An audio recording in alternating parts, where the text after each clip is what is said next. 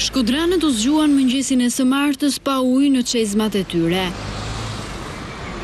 Ujësjellësi i qytetit njoftoi se furnizimi ishte ndërprerë për shkak të një defekti në stacionin e pompimit, për të cilin fajësuan luhatjet e energjisë. Nga luhatjet e tensionit janë damtu tre boksa ose tre panele kryesore të stacionit, punojnë me gjithë kapacitetet për të ba t'mujtun vënien në punë stacionit dhe dhënien ujit gjithë qytetit Shkodrës. Drejtori i Ujësjellësit Mark Molla tha se problemet e shkaktuara nga furnizimi me energji janë të vazhdueshme.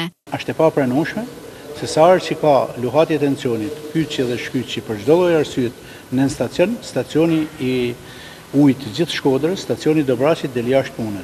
I baj thirrje OST-së, OSHEE-së, gjithë atyne që kena kontratë që na furnizojnë, që të jenë sa ma të vëmendshme, sidomos në lidhje me furnizimin e linjës ujësjellësit. Për sa i përket damit nuk na është përgjigjë kush asnjiherë, se normalisht gjithë kontratat nuk janë qind për qind zbatueshme, por edhe ata kanë problemet e tyne se rrjeti asht i amortizum edhe atje ndër vite.